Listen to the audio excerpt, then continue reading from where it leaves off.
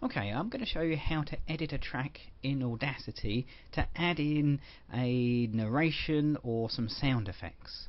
Now I'm going to open a file up. Let's go to File and Open. I've got two tracks here. I've got the main music and the narration track, uh, which will open up into Audacity. Now, it's um, quite a complicated audio track. I only want the speech parts of it. If we listen to it, you'll see what I mean. You're looking out over 2,000 years of history.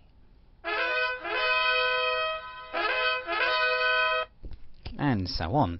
Okay, let's get the, the zoom tool and we'll zoom in and we'll just use the scroll bar on along the bottom of the screen that you can't quite see just to move back to the beginning. Now here you can see on the waveform that we have the speech part. Uh, we can hear that. If we get the uh, selection tool, start at the beginning and click play. You're looking out over 2,000 years of history. Yep, that's the bit. So all I'm going to do is to use the selection tool and drag over the bits I want to use. Okay, there we are. You can see it's now selected. And then if I come up to File, I can export that selection either as a, a WAV file or if you've put in the, the LAME MP3 um, update, then you can ex uh, export it as an MP3, which is what I'm going to do. And I'm going to call it a name. Let's call it um, Roman Bath number one. And it'll ask me for an ID3 tag. I'll just ignore it and all it is is we'll say OK that's fine. That's it. That saved it as a whole new file. Now we can keep going through this clip and extract the, uh, the bits of speech that we want. Now I'm going to keep working through this and take each individual clip out. Okay, and once you've uh, edited out all the little clips you want to do, or all the sound effects from your audio track, we're now ready to put that into our master track. So let's open up uh, the master track. We'll go to File, open and I called it main music because that made it easier for me to remember which one was the master track. Now this is the track that all of my pictures are going to uh, play to. Now onto that I want to add in the, the little clips of speech that we made earlier. So let's add that in. We'll go to Project, Import Audio, and there we go, number one was the first one, wasn't it? And there we go, you can see that if I move these up a little bit, I now have a new audio track appeared underneath. And if we go back to the beginning and play this... You're looking out over 2,000 years of history. It plays both tracks at the same time. Brilliant. Uh, except I don't want it to start there. I'd like the speech to start a little way in until we can see a little bit more detail. That's that's better. And I'm going to just move the uh, the new track, the little clip of speech, along the timeline. So let's change tools to the little arrows that go left and right, the time shift tool. And then we can just drag our audio clip along. And now it'll start wherever we drop it. You'll need to use the scroll bar along the bottom of the screen, which you can't quite see on this video. And I want to start it probably about 15 seconds in, or thereabouts. That should give me time to put an opening slide into my presentation before the speech kicks in. Play. You're looking out over 2,000 years of history. Perfect. Okay, so that now fits in nicely. Okay, let's add another clip in. Uh, we'll go to Project, Import Audio, and choose number two. Now the uh, the screen starts to fill up quite quickly with this, and we've only got a little limited amount of space on the uh, um, using the time shift tool, again I'm going to drag this a bit further along. I don't want it to all play at the same time, but I have to make sure these play in sequence. This is first and this is second. And once again we'll zoom in so we can see what we're doing. And find our clip, there it is. And this one I wanted to start, well, a little bit further on. This looks promising. We can see on our main track that here things start to get a little bit louder. So if we get the time shift tool, we'll try and move it in there. So hopefully the speech should then flow with the music.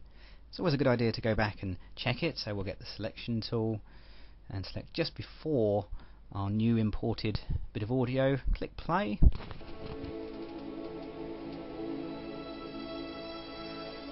Two thousand years ago, Rome ruled the greatest empire that the world had ever known. Yep, that looks okay to me.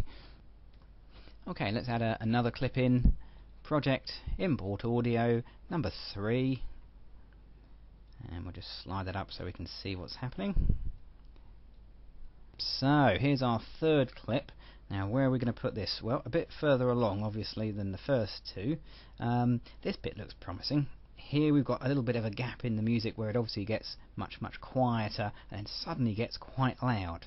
Now, I'm going to fill that bit with our, a bit of audio here, so let's just move that along. That looks pretty good. Let's play that.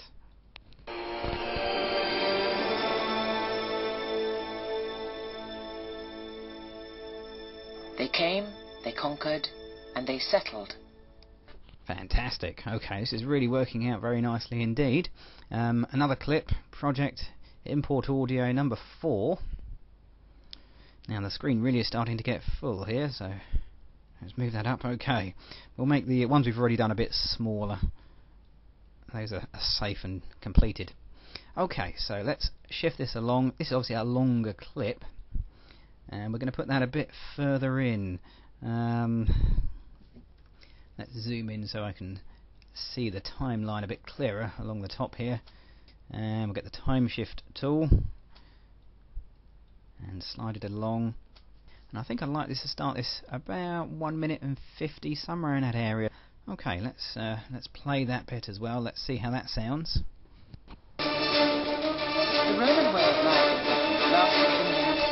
Ah, now you can hear that with the loud audio track, it's drowning out our, our, our narration. So we've got a couple of things we could do. We can increase the audio level of the narration by increasing the gain but that tends to make things a little bit kind of blurry at the top end. So that helps a little bit, but I wouldn't put it past plus 6.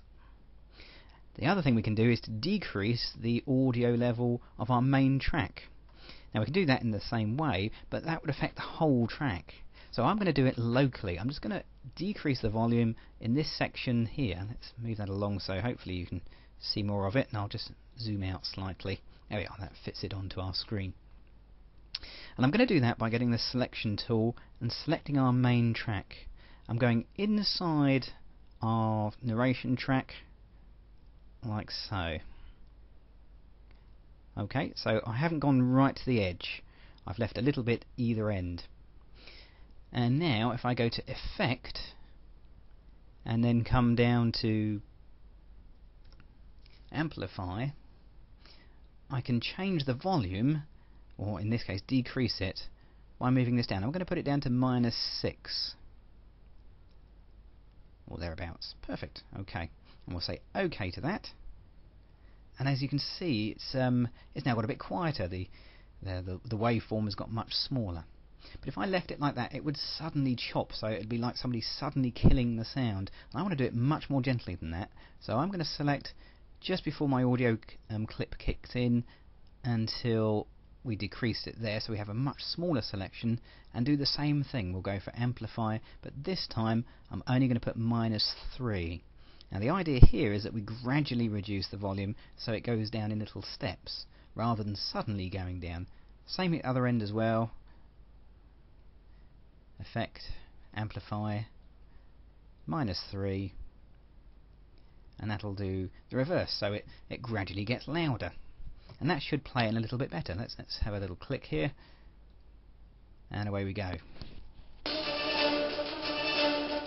The Roman way of life in Britain lasted for nearly 400 years.